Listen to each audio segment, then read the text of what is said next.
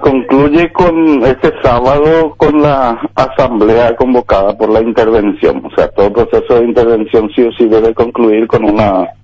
asamblea que estamos eh, este, cuidando todos los detalles para que se lleve todo bien y,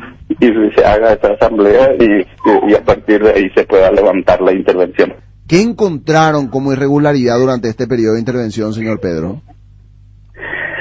Bueno, el, en el informe, que es muy extenso, es más, casi más de 500 páginas, el informe que va a ser presentado el sábado y,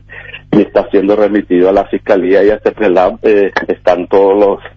lo que hemos encontrado, eh, no quiero dar muchos detalles todavía, porque se tiene que concluir eso con la con la presentación y, y en este momento lo que tenemos que cuidar todo el tema de asambleas y yo te pido dentro de eso eh, se han comprobado muchas de las cosas de lo que se había dicho en su momento y,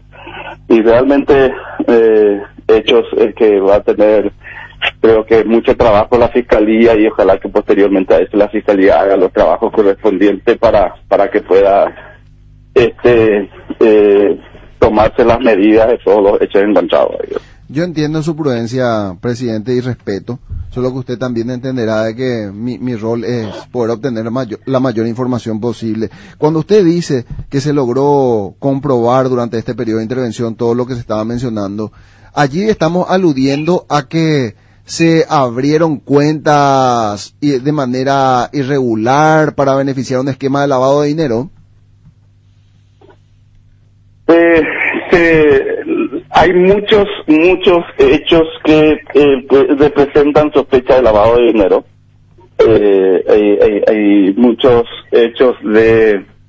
de violación de, de, punto de vista reglamentario, de procedimientos, de, eh, de procedimientos de controles internos, o sea, eh, realmente todo lo que sugerían de repente hasta los mismos técnicos de que no se no se realice, no se conceda el crédito del consejo hacia caso omiso, o sea, todo muchos hechos realmente en el cual se pueden decir este, que son para nosotros muy graves y, y, y sospecha de lavado de dinero.